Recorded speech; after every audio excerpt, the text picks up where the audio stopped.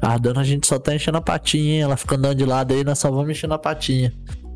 É, essa que é. Essa que é a alegria, né, cara? Pegar a promoçãozinha, um marasmo desse e só ir enchendo a patinha. O pessoal fica nervoso que ela não vai pra cima, vai pra baixo, eu só tô comprando, ó. Fica a dica aí. Compre e fica quieto. Sabe, Deixa o mercado trabalhar. Sabe uma coisa interessante falando da Cardano? É, a Cardano eu, eu, eu considero a moeda que tem a comunidade mais fiel ao projeto de todos os mercados cripto. Você pode ver que durante é, esse período que todas as moedas estão desvalorizando, né, dinheiro que está fluindo da altcoin indo para o BTC, você vê uma leve desvalorização. O Ethereum desvalorizou alguns dias 3%, a BNB uns dias 5%, mas se você olha a Cardano, a Cardano está completamente estável o preço. Ou seja, todo mundo que tem a Cardano está comprado na Cardano porque realmente acredita no projeto e acha que, que o projeto tem muito potencial. E os caras não se desfazem da, da ADA. Eu já percebi isso constantemente, que é, várias, várias altcoins performam muito mal, tendo correções junto com o Bitcoin, por exemplo, e o pessoal da Cardano não vende. Não, não importa o que aconteça, eles não vendem. Isso mostra muita resiliência da moeda, né? É, só que para mim, trazendo para o meu contexto pessoal, eles são o Decred atual. DCR, não sei se você tava na época, mas eu, eu foi a época que eu conheci o Bitcoin e comprei meus primeiros 500 contos lá na puta que pariu, 2014. E mano, teve o airdrop da moeda, a moeda era maneira. Até hoje eu acredito no projeto, só que procura de aí no CoinMarketCap pra você ver. O, a comunidade brasileira é forte ainda nela. Eu tô no grupo, inclusive, eu faço uns stake lá de vez em quando. Só que deu uma flopadinha na moeda, né? É, eles não. Mas por que aconteceu? O projeto não foi entregue ou muito atraso? Sincera... Sinceramente, não sei. Porque eu parei de acompanhar no, nesse meio tempo, né? Eu comprei lá em 2000, não lembro se é 2014 ou 2015. Aí eu tinha esquecido, da carteira, larguei lá, porque teve um crashzinho depois lá em 2018, se eu não me lembro. Aí já era, larguei pra lá, esqueci, lembrei esses dias, abri minha carteirinha, tá lá, tô fazendo esse stake lá ainda. É, quase como achar dinheiro no, no bolso da, da roupa, né? Eu, eu, eu, eu julgo que foi parecido com o Dash que você falou uns dias pra trás. Sim, uma sim. gravação pra trás, não lembro qual. Tipo assim, é um produto, é um projeto legal, o pessoal acredita, a comunidade é forte, só que o inverno vem, né? É, esse, esse que é o problema, né? Quando o inverno vem você tá posicionado em, em alguma altcoin, cara, é muito complicado. Por isso Até... que. Por isso que aqui no canal a gente não decidiu como a gente vai agir no inverno ainda. A gente falou algumas vezes, citou que a gente vai olhar mais pra frente, mas não tem nada certo ainda. É, a gente ainda está discutindo e está em aberto essa estratégia para ver o que, que a gente vai fazer, né?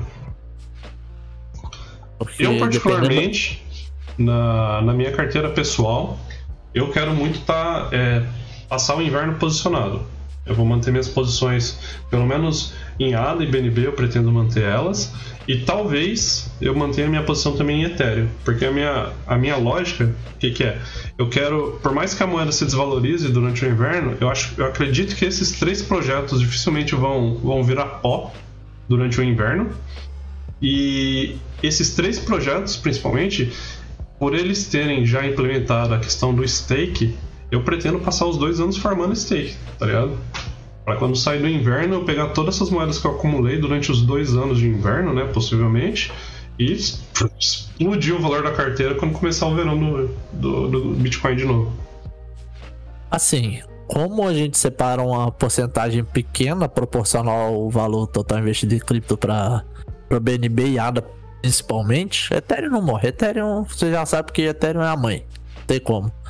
Mas BNB e ADA, como a gente separa 10% para cada, que ao meu ver é uma porcentagem pequena, é mais uma aposta do que um do que um hold de verdade. É, mesmo que flop o projeto, mesmo que o projeto desça e não suba mais, foi uma porcentagem pequena perto do total. Eu acredito que o que você vai ganhar no Bitcoin, no Ethereum, por exemplo, vai sobrepujar isso aí em, em vezes.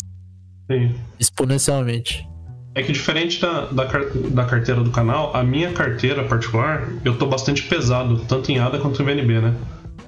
Por, eu já tava carregando stake deles há alguns meses. Eu tô. Atualmente eu divido. A minha carteira eu divido em partes iguais.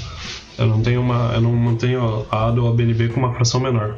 Então, é. se eu manter pelo menos a posição dessas duas moedas, que hoje representa 50% da minha carteira, se eu levar esse 50% posicionado durante o inverno, para mim tô tranquilo, sabe? Eu me sinto confortável, mesmo vendo essas moedas virar, tipo, o valor delas virar pó, tá ligado?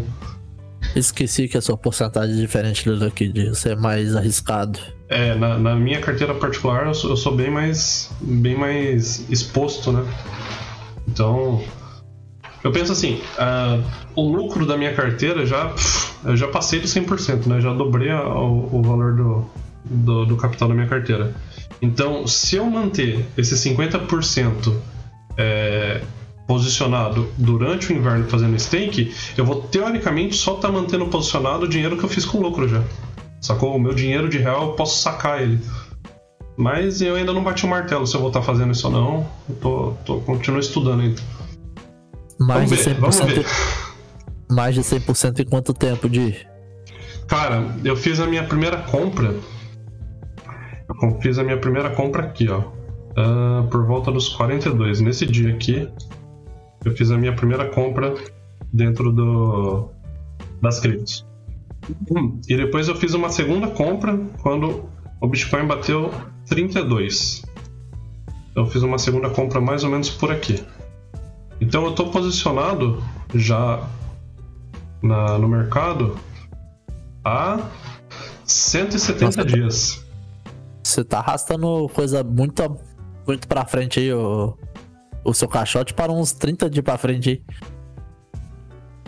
Não, mas ele conta só o número de barras aqui, né? Deu ah, 150, é? 150 dias. Ah, tá bom, 150 desde, dias. Desde o momento que eu entrei na. na, na da primeira então, operação, tá ligado? Em cinco meses você já deu. Já deu. Já dobrou o capital. Mais ou menos por aí. Vamos arredondar para seis meses. Né? Mais ou menos em seis meses eu, eu, dobrei o capital. Só que a minha estratégia não foi apenas hold, né? Durante esse meio tempo aqui, eu vim executando a, estratégia, a estratégia parecida dessa da, do canal, de ir rebalanceando as porções de carteira.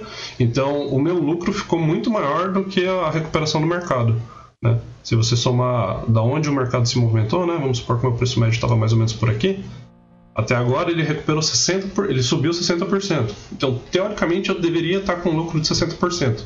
Mas devido a esse, a, essa, a esse rebalanceamento constante que eu vou fazendo semana a semana, eu consegui fazer pelo menos 40% acima da recuperação normal do mercado.